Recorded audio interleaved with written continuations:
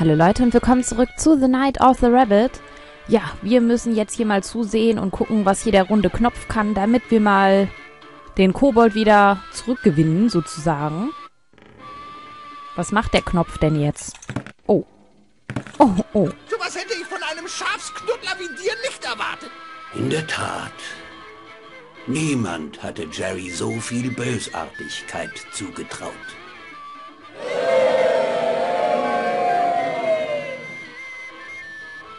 Aber zwei Fliegen mit einer Klappe. Hätte sein mörderischer Plan funktioniert, besäße er das gesamte Gold. Wie niederträchtig. Und der modisch überlegene Zylinder des Kobolds wäre nur noch Geschichte. Dieser Schuft! Zum Glück war ich auf der Hut.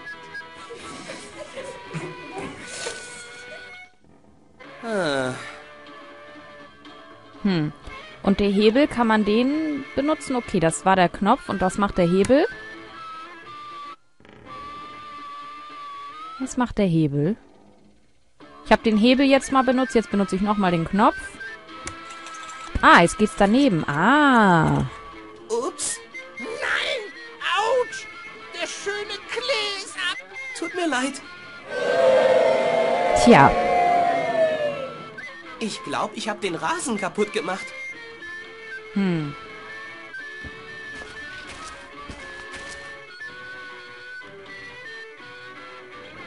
Da baumeln Sandsäcke.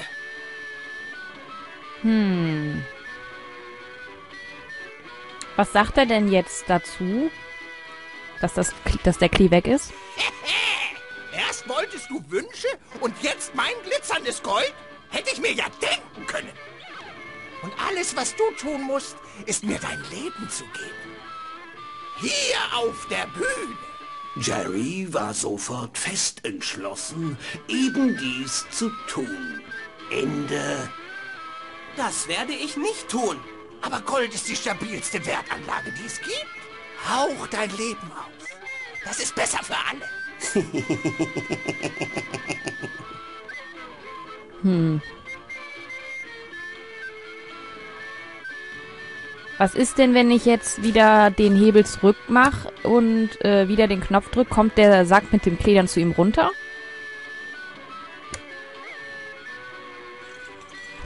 Ach, oh. Oh nein! Mein Gold! Mein Gold! Hm. Geschafft. Jetzt kann ich an den Zylinder rankommen. Ha! Jerrys mörderische Falle schnappt zu und er stiehlt den viel schöneren Zylinder des armen Kobolds.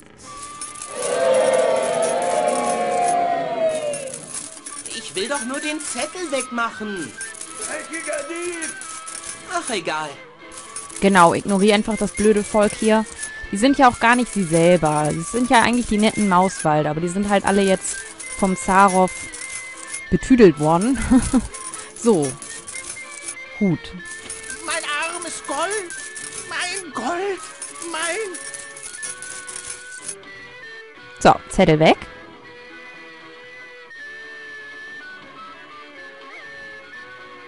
Nur wertlose Plastikdubletten? Verdammt! Bei allen verrotzten Rotznasen, aller heulenden Küsten, Banshees! Das ist doch... Jerry, der junge Klempner. Es scheint, als hättest du mich aus meinem Wahn befreit. Mein Jung, ich bin dir zu großem Dank verpflichtet. Wen muss ich in ein Schaf verwandeln, um diesen Irrsinn ein Ende zu setzen? Nein, nein, nein, nein! Sie müssen mir helfen, den Nagel zu entfernen. Okay, mein Jung. Ein O'Donnell ist niemandem gern was schuldig. Dieser Wunsch geht aufs Haus. Hagel, Regen und Nebelschwan. Danke, Mr. O'Donnell. Der Bann über mich ist gebrochen. Ich kehre heim. Ein O'Donnell ist für die Freiheit geboren. Merk dir das, du hässlicher Muschelhocker.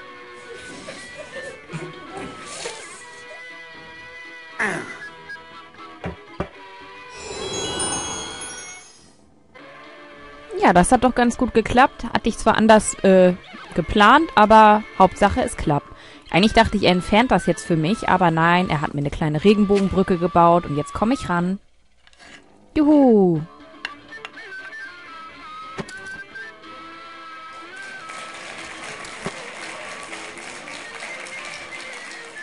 Ja, das war's, Sarov.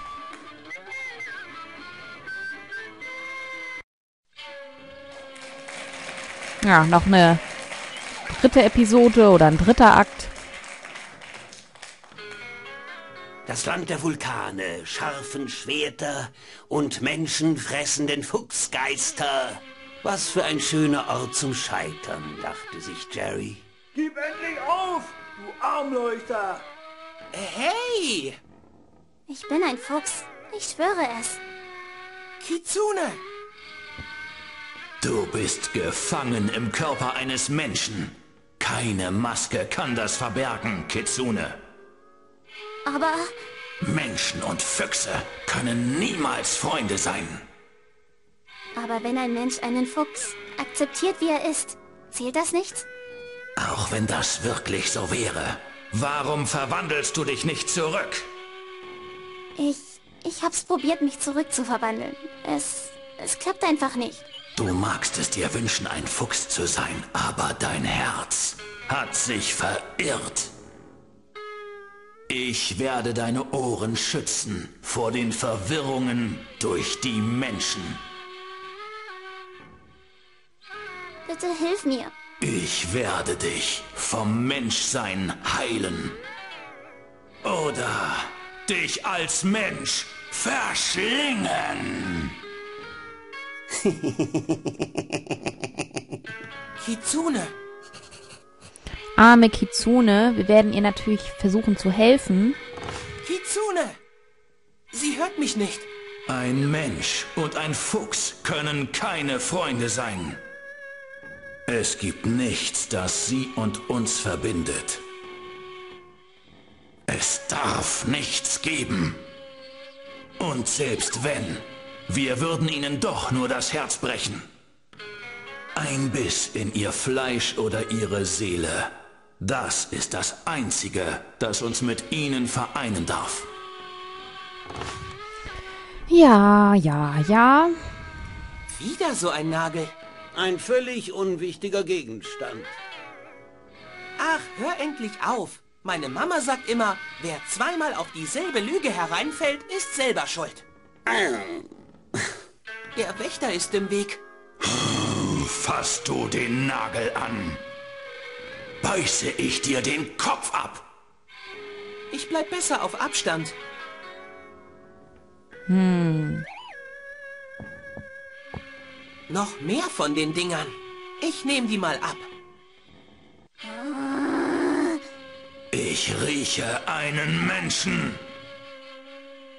Meine Augen mögen blind sein, doch meine Nase täuscht mich nie. Wir Füchse sind gefährliche Tiere. Oh Mann, Kitsune klingt richtig gefährlich. Hm, ich guck mal wieder in unser Skript. Mal gucken, was das Skript denn eigentlich für uns vorgesehen hat. Toll, ein neues Skript. Im Bann des Zarow. Äh, dritter Akt. Der kleine Jerry ließ nicht locker. Unaufhörlich ging er den Füchsen auf die Nerven. Bis... Äh, bis sie genug von dem unreifen Jungen hatten und ihn mit Haut und Haaren verschlangen.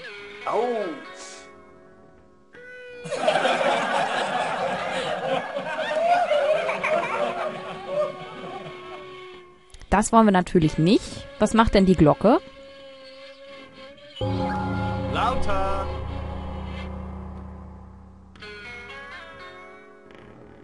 Und wie?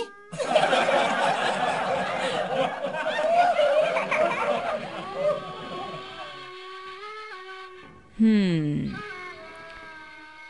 hm, ich schaue mich mal wieder hier ein bisschen um. Also wir haben eine Glocke, wir haben das Skript. Ist denn wieder irgendwas, ein Schalter oder so? Das hatten wir jetzt schon zweimal. Na, diese Augen, die einen hier so angucken. Ähm, ja, Kitsune, Zaroflyer. Ach, die Mucke alleine, diese Musik im Hintergrund. Alles so, die Musik, die wir kennen, aber alles immer so verzerrt und komisch. Glocke, also lauter. Wie wär's denn mit Kitsunes Glöckchen? Vielleicht reagiert sie da drauf.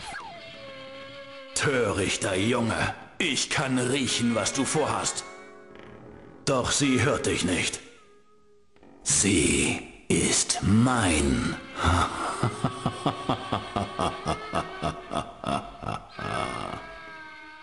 Sie ist sein.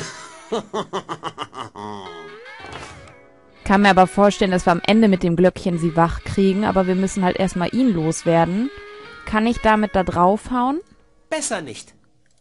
Mit dem anderen? Besser nicht. Hm, kann ich mit dem Frosch? Das klappt. Ach, aber vielleicht kann ich mit dem Tonträger den Ton auffangen von der Glocke. Mal sehen, was passiert, wenn ich das Ding an die Glocke halte. Dann fängt er den Ton auf. Ah. Mhm. Jetzt ist sie nämlich frei und jetzt kann ich nämlich kurz auf Kitsune ihr Glöckchen machen und sie wieder wach kriegen, oder? Genau. Ich hoffe, dass sie sich an ihre Glocke erinnert. Oh, Kitsune! J Jerry? Du willst mir meine letzten Sinne rauben, Mensch? Ich werde alle Menschen dafür leiden lassen. Auch deine kleine Kitsune. Ich bin ein Fuchs. Ich schwöre es. Du magst es dir wünschen, ein Fuchs zu sein, aber dein Herz hat sich verirrt. Ich werde deine Ohren schützen vor den Verwirrungen durch die Menschen.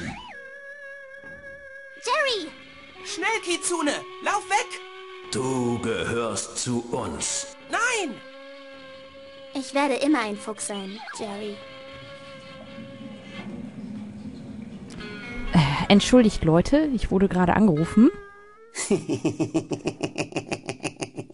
Und Jerrys Tonträger zersprang. Super! Der Tonträger ist zersprungen.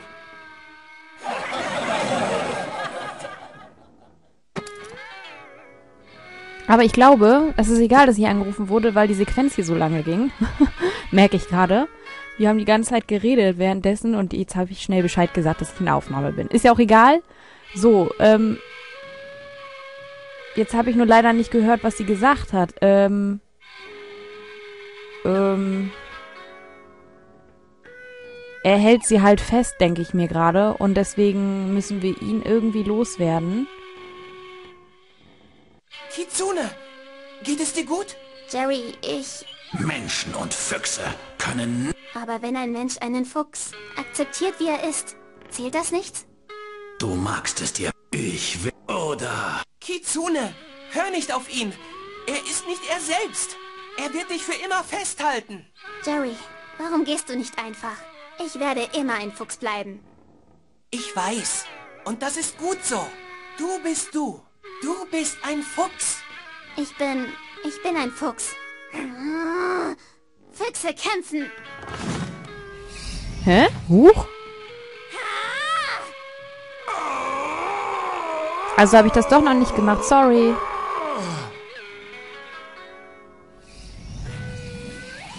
Kleine Kitsune. Ich bin nur ein blinder Wächter. Doch mein Verstand sieht wieder klar. Ich muss dir danken, Mensch. Sei ihr ein Freund. Ach, ich dachte, ich hätte das jetzt schon gemacht und nur nicht gehört wegen gerade ihm. Tut mir leid. Also ich wollte das Gespräch nicht überspringen. Das war jetzt Zufall. Ich habe ja eigentlich gar nichts gemacht. Ich habe ja nur draufgeklickt. Freundschaft entfernt den Nagel? Na, das glaubt doch keiner.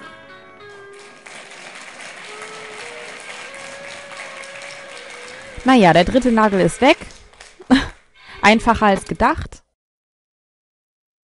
Ich dachte, ich müsste halt jetzt noch was dafür tun, dass er sie freilässt. Aber das hat sie ganz alleine geschafft. Nanü, wo sind wir denn jetzt? Und sind wir in diesem Eisland, wo der Wal auch gekommen ist?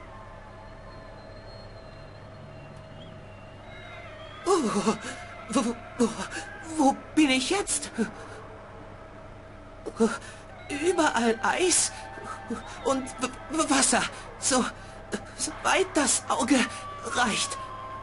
Uh, der Wind ist so kalt. Vor lauter Freude darüber, wieder an einem der schönsten Flecken der Erde Urlaub machen zu können. Urlaub? riss sich der Junge jauchzend die Kleider vom Leib und sprang in das eisklare Wasser. Jerry on the rocks.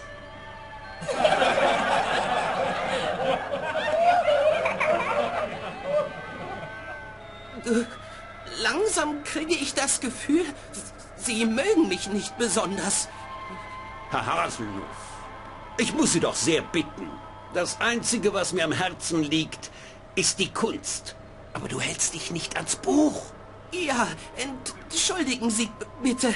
Ich werde mich mehr be bemühen. Das will ich doch hoffen, du nichtsnutziger Amateur. Wo waren wir? Der mächtige Polwal brach hinter Jerry oh Mann. Eis.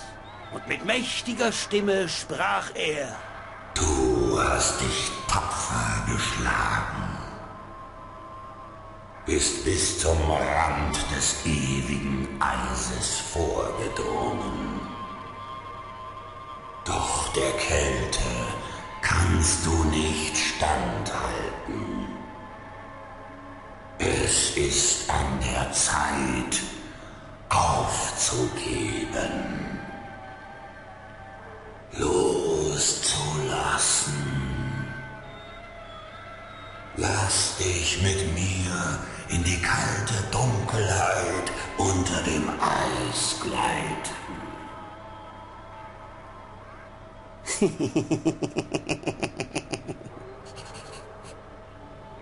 Okay, also der Wal, der ist auch im Bann des Zarow. Das ist das Auge des Polwalds. Es sieht traurig aus. Jerry bot ja auch einen traurigen Anblick.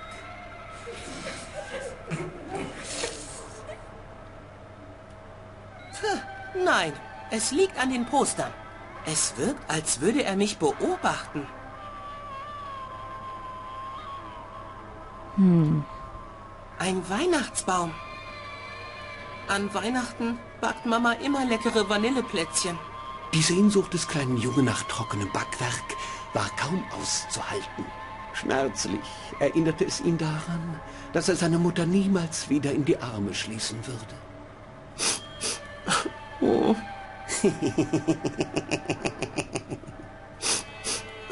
oh. Wie gemein! Mit dem Bann und so ist okay, aber die Mutter ins Spiel zu bringen, widerlich!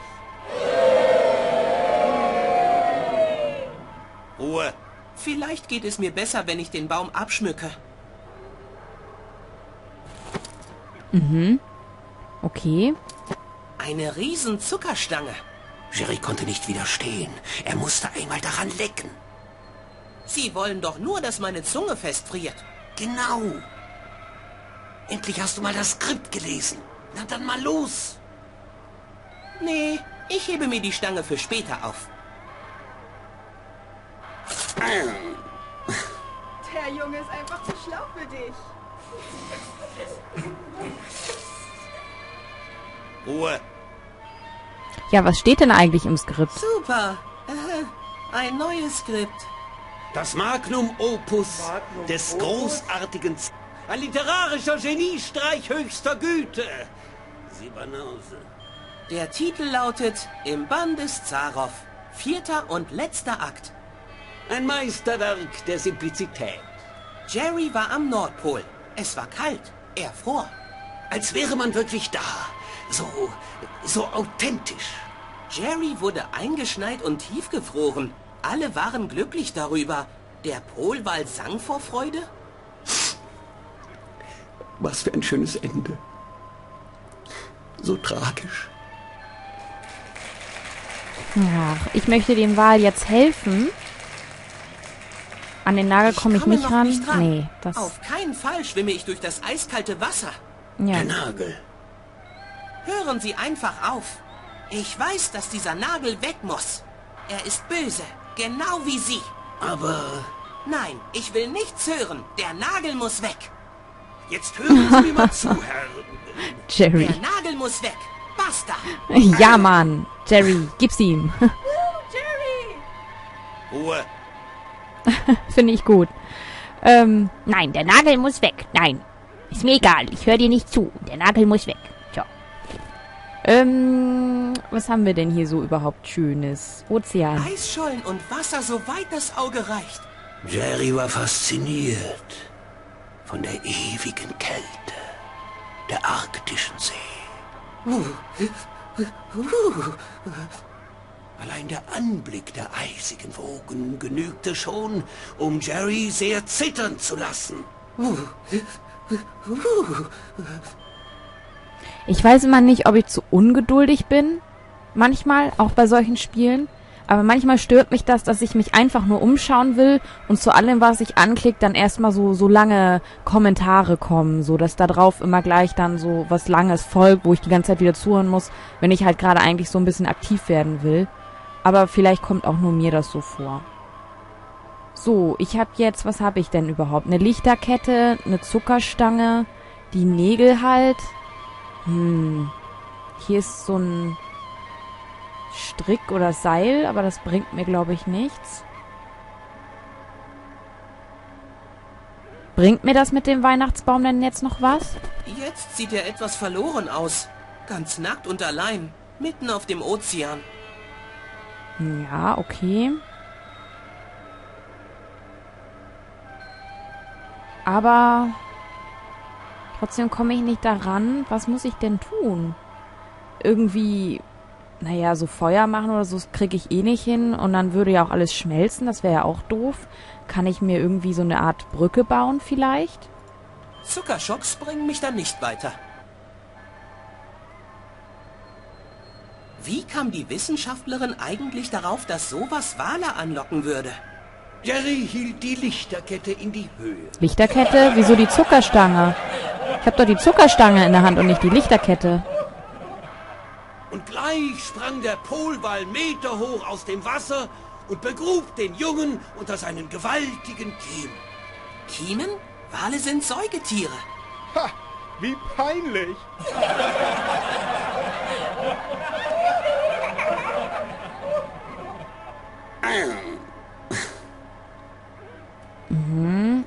Okay, dann versuche ich es eben mal damit.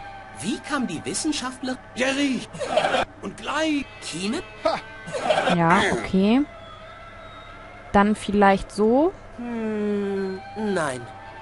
Aber das kombinieren. Und dann rüberwerfen und den Nagel rüberziehen. Hui, jetzt habe ich eine weihnachtliche Angel. So angelt bestimmt der Weihnachtsmann. Das werde ich aber ausprobieren, das rüberzuwerfen, als Anker zu benutzen im nächsten Part, sonst wird der hier zu lang. Vielen Dank fürs Reinschauen und bis zum nächsten Mal und äh, ja, tschüss.